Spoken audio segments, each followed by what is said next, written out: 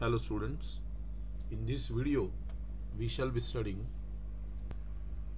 electron transport chain ETC electron transport system ETS or the topic is also known as terminal oxidation process this is most important topic to understand energetics of aerobic respiration. So let us begin with the simplest way to understand this electron transport or terminal oxidation process. First of all try to understand. This is representing the phase 3 of aerobic respiration completely mitochondria के अंदर होने वाली process know why it is called as terminal oxidation becomes an important point this is oxidation found in aerobic respiration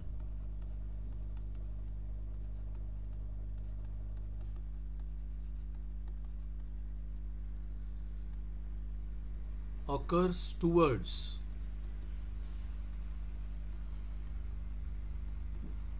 the end of the process. Another important point to be stated is that it involves passage or you can say transfer. That will be the most easy word to understand involves transfer of two things. One is protons and other is electrons. कहाँ से आए लेकिन ये? Of reduced coenzymes अब जब मैं reduced coenzymes बोलता हूँ तो क्या है आगे? वो भी हमें समझना है। बट किसके तरफ़ जा रहे ये सब? ये जा रहे हैं टू ऑक्सीजन बराबर? और इसका रिजल्टेंट क्या है? It basically produces water molecule most important most important point अब ये ऑक्सीजन के तरफ़ जा रहे हैं कौन? प्रोटॉन्स और इलेक्ट्रॉन्स ये जो वाटर प्रोड्यूस होता है यहाँ इसे मैं बोलता हूँ मेटाबॉलिक वाटर दूसरा इंपॉर्टेंट पार्ट या पॉइंट जो मैं यहाँ मेंशन करना चाहता हूँ वो ये है कि देखो ये ट्रांसफ़र इन्वॉल्व करता है प्रोटॉन्स और इलेक्ट्रॉन्स का. यानी ये दो चीज़ें पक्के से इन्वॉल्व करता है, एक है लॉस और दूसरा है गेन बट ये किसका तो इलेक्ट्रॉन्स का ट्रांसफ़र हो रहा है, यानी कहीं से ना कहीं से जा रहा है। अब लॉस हुआ इलेक्ट्रॉन का तो वो ऑक्सीडेशन है, और गेन हुआ इलेक्ट्रॉन का तो वो रिडक्शन है, और इसलिए इसका मतलब हो गया कि टर्मिनल ऑक्सीडेशन प्रोसेस ये बेसिकली एक रेडॉक्स रिएक्शन का सीक्वेंस है।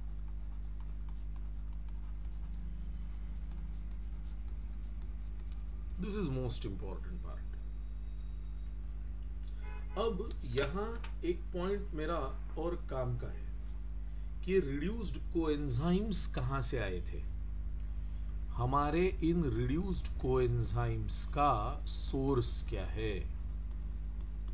सोर्स ऑफ़ रिड्यूस्ड कोएंजाइम्स मेरे दो है एरोबिक रेस्पिरेशन में। बराबर? एक है ईएमपी पाथवे हमें कोई जल्दी नहीं है। कहीं कोई ट्रेन नहीं पकड़नी। और दूसरा है टीसीए साइकिल जिसमें मैंने लिंक रिएक्शन भी कंसिडर कर लिया। आगे मेरा पॉइंट ये आएगा कि यहाँ टाइप्स कौन से थे रिड्यूस्ड को के? हमें मिले ये पता है। पर types of reduced coenzymes obtain कितने हैं? तो वो दो है बच्चों। एक है NaDH2 जिसे NCR T N A D H H plus बोलता है, और दूसरा है FADH2 अब number of reduced coenzymes obtained from all pathways इसको भी कंसिडर करना चाहिए। नंबर ऑफ़ रिड्यूस्ड कोएंजाइम्स इसमें हम लोग NaDH2 की बात करेंगे। तो ईएमपी e पाथवे और टीसीए साइकिल से टोटल मुझे टेन NaDH2 मिले। एंड व्हाट अबाउट FADH2 तो वो FADH2 मुझे मिले हैं दो। बराबर? यानी total number of reduced coenzymes की बात करते हैं। अगर जो अलग अलग पाथवेज से मुझे मिले हैं total number of reduced coenzymes जो मुझे अलग अलग टाइप से मिले अलग अलग पाथवे से मिले, वो बारह है। बराबर? इन रिड्यूस्ड को एंजाइम्स का यहाँ क्या होगा? तो यहाँ उनका ऑक्सीडेशन होगा और उनके ऑक्सीडेशन से there will be release of energy बराबर? और इस रिलीज़ ऑफ़ एनर्जी का क्या करेंगे हम लोग? तो they will be trapped that energy will be trapped in the form of ATP that is adenosine triphosphate बराबर? एडेनोसिन ट्राइफॉस्फेट मुझे मिलेगा। ये एनर्जी रिलीज़ कैसा है? ये ऑक्सीडेशन की प्रोसेस जो एनर्जी रिलीज़ करवाती है that is released in step wise manner एक साथ इकट्ठा ये सारी energy will not be produced बराबर? इसका मतलब हो गया कि टर्मिनल ऑक्सीडेशन की प्रोसेस या रेडॉक्स रिएक्शन की chain is basically responsible for actual synthesis of ATP यहाँ जो ट्रांसफ़र ऑफ़ इलेक्ट्रॉन की मैंने अभी बात किया था शुरुआत में, वो ट्रांसफ़र ऑफ़ इलेक्ट्रॉन कैसा है? ये भी समझना ज़रूरी है इलेक्ट्रॉन्स या प्रोटॉन्स बट मैं यहाँ इलेक्ट्रॉन्स की बात करूँगा। ट्रांसफ़र ऑफ़ इलेक्ट्रॉन्स ये यूनिडायरेक्शनल ट्रांसफ़र है। बराबर? यूनिडायरेक्शनल है। सिर्फ़ यूनिडायरेक्शनल है क्या? नहीं।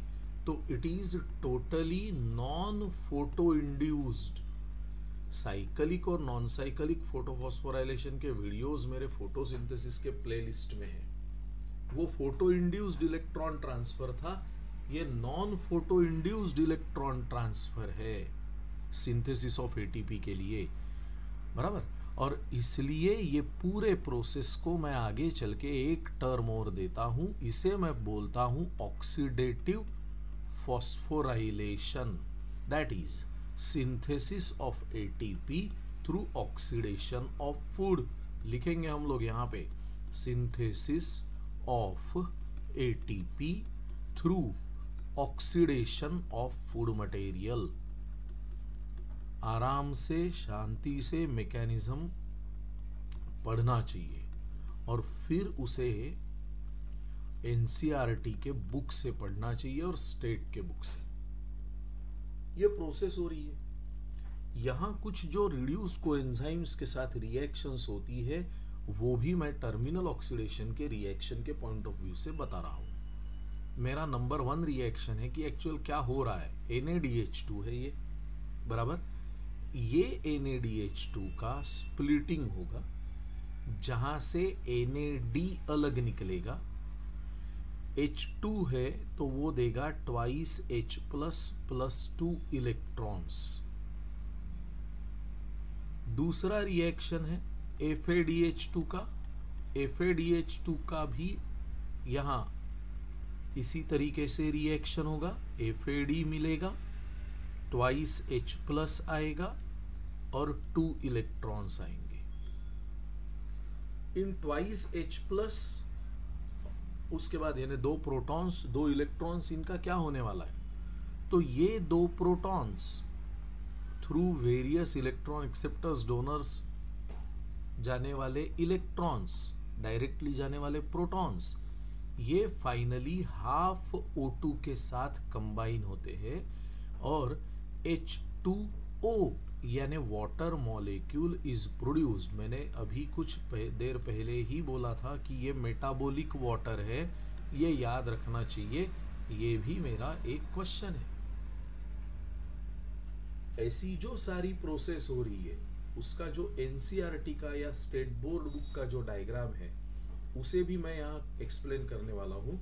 बट एक इजीएस्ट ऑफ़ ऑल रिएक्शन से हम लोग इस प्रोसेस को पढ़ने की कोशिश करते हैं, जो पुराने समय पे एक्सप्लेन किया जाता था। आज भी एक्सप्लेन किया जाता है, क्योंकि वो बेटर अंडरस्टैंडिंग के लिए बना हुआ रिएक्शन सिक्वेंस है। बराबर? अब देखो, यहाँ क्या हुआ था कि ये है आपका सबस्ट्रेट जस्ट मोमेंट बराबर? सबस्ट्रेट है, उस सबस्ट्रेट का हुआ ऑक्सीडेशन यानी रिएक्शंस हुई। सबस्ट्रेट का ऑक्सीडेशन हुआ। इस सबस्ट्रेट के ऑक्सीडेशन में क्या हुआ था? NAD was D H NADH2 clear अब इस NADH2 ने अपने हाइड्रोजन को छोड़ दिया और NADH2 ने अपने हाइड्रोजन को छोड़ देने के बाद उसे एक्सेप्ट किया फ्लेविन मोनोन्यूक्लियोटाइड ने। और उसका बना फ्लेविन मोनोन्यूक्लियोटाइड H2 यानी रिड्यूस्ड फॉर्म में। जब ये ये हाइड्रोजन की पेयर NaDH2 से एफेमेन के तरफ़ जाती है तो वो एफेमेन का रिडक्शन करवाती है और NaDH2 का ऑक्सीडेशन। इस पूरे पार्ट में क्या हुआ? दोनों के बीच का रेडॉक्स पोटेंशियल इस तरीके से है कि वहाँ विड्रॉन एनर्जी ट्रैप होकर एटीपी का सिंथेसिस करवाएगी और ये यहाँ पे मिलेगा मुझे पहला एटीपी बराबर? अब इसके आगे क्या है? That becomes an important point आगे आने के बाद ये जो हाइड्रोजन है, इनका हुआ splitting twice H plus free हुआ। बराबर? और दो जो इलेक्ट्रॉन्स है they will move through chain of cytochromes पहला मेरा साइटोक्रोम कॉम्प्लेक्स जो है, वो है cytochrome B C one it is supported by Fe three plus बराबर? ये एफी थ्री प्लस क्या करेगा? कि एक इलेक्ट्रॉन लेगा, इलेक्ट्रॉन का लेना, यानी रिडक्शन होना, एक पॉजिटिव पार्ट चार्ज जो है दैट विल बी सेटिस्फाइड और ये फिर से ऑक्सीडेशन में जाएगा इसके बाद that electron will be accepted by the next particular cytochrome that is cytochrome C. It is supported by Fe3 plus. Fe3 plus जो है, वो वापस से रिड्यूस होगा Fe2 प्लस में और फिर ऑक्सीडाइज होगा यहाँ इन दोनों के बीच का रिडक्शन पोटेंशियल का डिफरेंस रेडॉक्स पोटेंशियल का डिफरेंस इतना प्रॉपर है कि यहाँ पे एनर्जी विड्रॉ होगी एडीपी के साथ आईपी कंबाइन होगा और मुझे यहाँ मिलेगा सेकंड एटीपी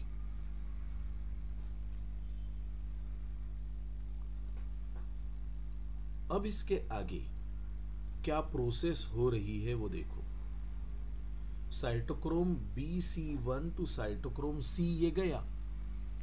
अब आगे another important cytochrome will come into action and that is cytochrome A. Cytochrome A के पास जब ये जा रहा है तो प्रोसेस क्या हो रही है? यहाँ पे भी एफी थ्री प्लस है, जिसने इलेक्ट्रॉन को एक्सेप्ट किया it will be reduce to Fe two plus और वो इस इलेक्ट्रॉन को छोड़ के फिर से ऑक्सीडाइज फॉर्म में आएगा। फाइनली ये इलेक्ट्रॉन अब लास्ट साइटोक्रोम के पास गया साइटोक्रोम ए थ्री के पास। यहाँ कॉपर सेंटर से दो। बराबर? जब वो इलेक्ट्रॉन एक्सेप्ट करेगा तो उसका भी रिडक्शन हुआ। और इसके चलते यहाँ पे भी फाइनली ये हुआ है कि ADP combines with IP to produce ATP और इस तरीके से तीन एटीपी मुझे मिले टू से। अब फाइनल पार्ट पे क्या हुआ था वो देखो, ये प्रोटॉन्स जो है वो डायरेक्टली यहाँ पहुँच गए हैं। ठीक है? अब यहाँ इन इलेक्ट्रॉन्स को किसी को ना किसी को एक्सेप्ट करना है और वो इलेक्ट्रॉन्स को एक्सेप्ट करेगा O2 और यहाँ हाफ़ ओ टू पे ये दो निगेटिव चार्जेस आ गए, क्योंकि दो इलेक्ट्रॉन्स मिलेंगे। अब ये दो electrons plus twice H plus ये दोनों जो है, ये मिलकर फाइनली मुझे यहाँ देंगे वाटर मॉलिक्यूल इस तरीके से ये पूरी चेन हुई टू की, जिसे सब जगह पे हम लोग बोलेंगे route one.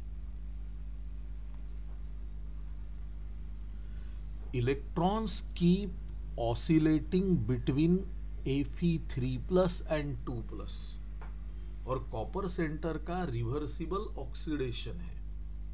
ऐसे तीन एटीपी मिले।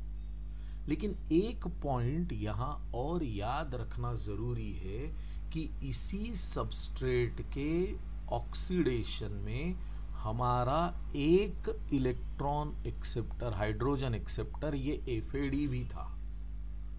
और F A D was reduce to F A D H two during conversion of succinate to fumarate उसने अपने हाइड्रोजन को छोड़ दिया ऑक्सीडेशन में आ गया। इसके मटेरियल को एक्सेप्ट करता है को enzyme Q and that will be reduced to H two that will be again oxidised इस स्टेप में कोई एटीपी नहीं बनता।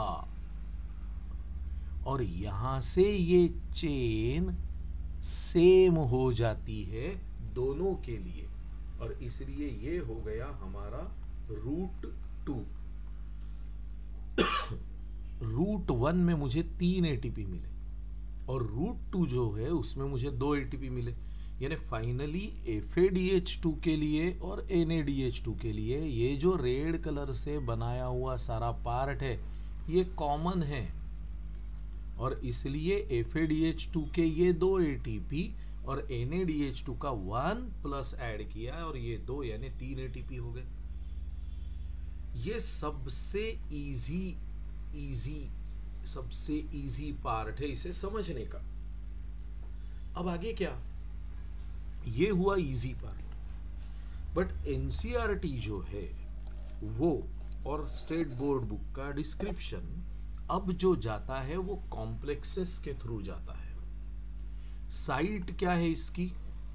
इस पूरे रिएक्शन की जो साइट थी that was head of F one particle बराबर?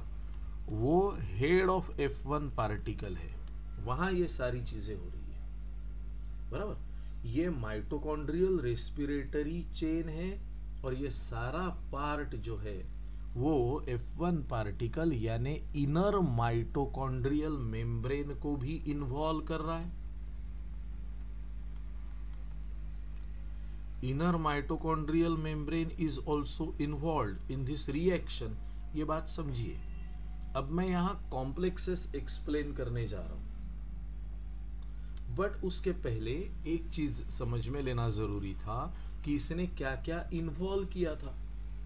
तो अलग अलग इलेक्ट्रॉन एक्सेप्टर्स थे ही कोएंजाइम्स भी थे।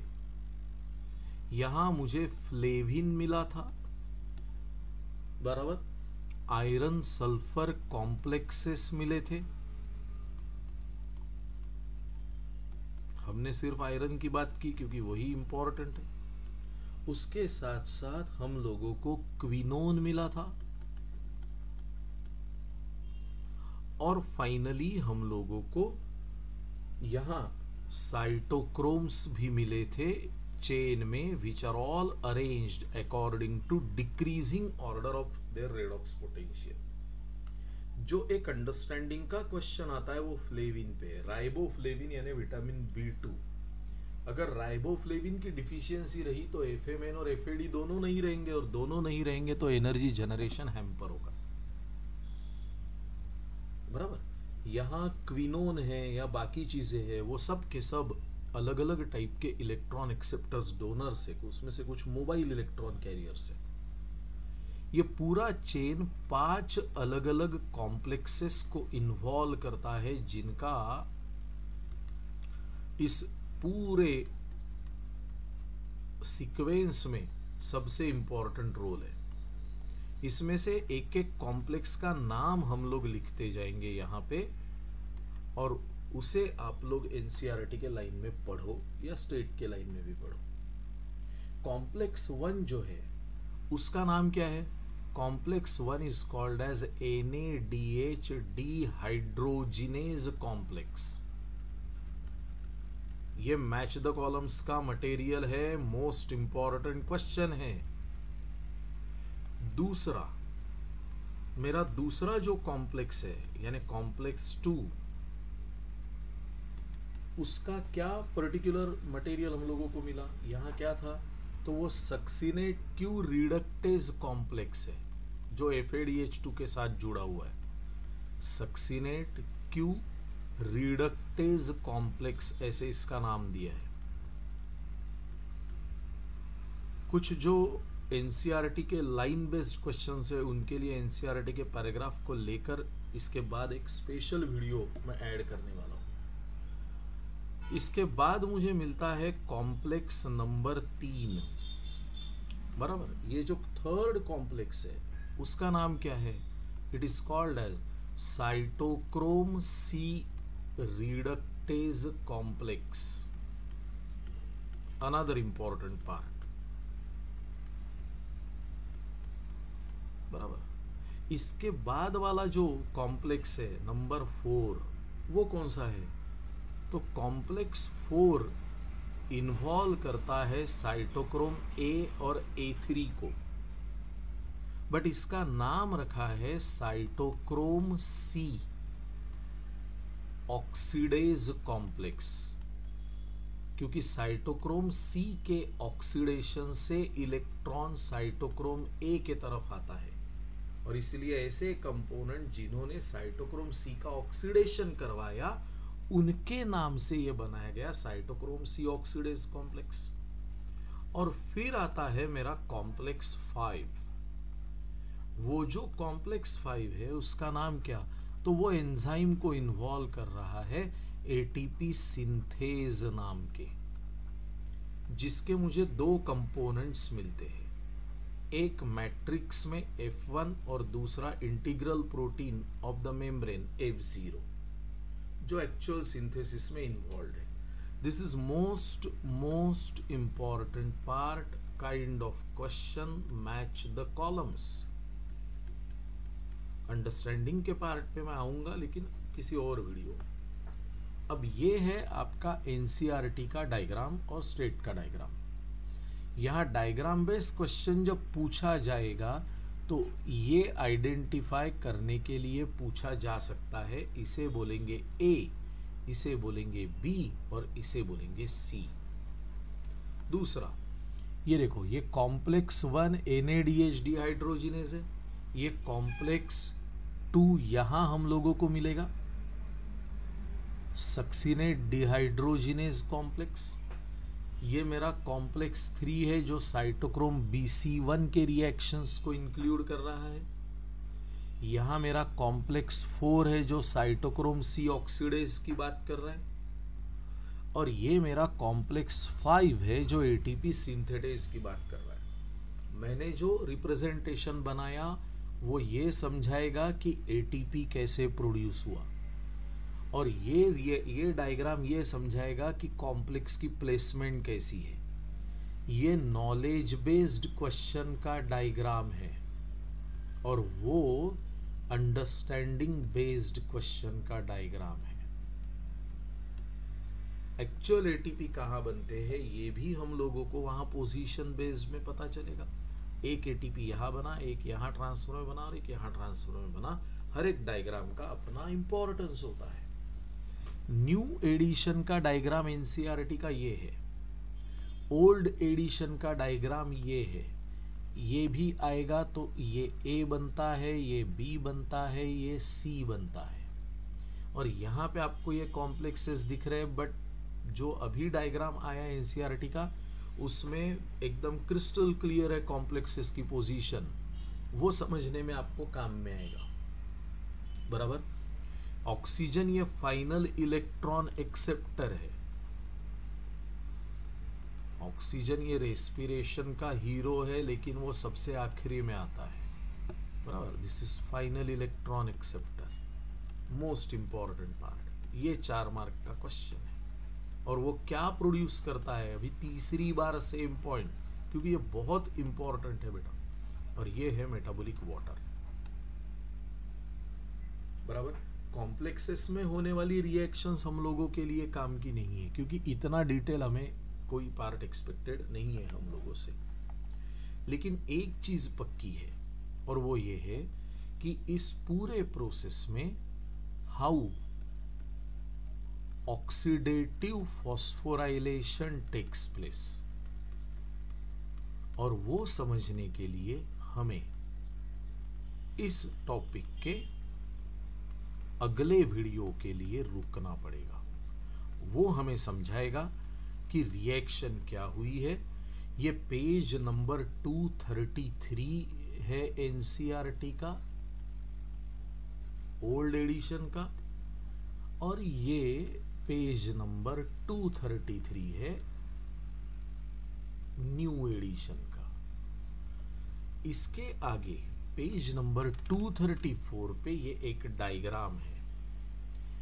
बराबर this is most important diagram और this is related with our next video सिर्फ़ उसको यहाँ मैं दे रहा हूँ और वो है ऑक्सीडेटिव फॉस्फोराइलेशन प्रोसेस जो मोस्ट इंपॉर्टेंट है। और ये हम लोग पढ़ने जा रहे हैं नेक्स्ट वीडियो में। थैंक्स फॉर वॉचिंग इसको अच्छे से देखिए और समझिए। ये चैप्टर के दो तीन वीडियोस जब रहेंगे एनारोबिक रेस्पिरेशन और एम्फिबोलिक पाथवे का वीडियो जब रहेगा आरक्यू का तो उस वक्त मैं क्वेश्चन सेट का एक वीडियो डालूँगा आंसर इन वन लाइन का। वो आपके लिए हेल्पफुल रहेगा। थैंक्स फॉर वॉचिंग अगेन अगले वीडियो में मिलते हैं। Thank you very much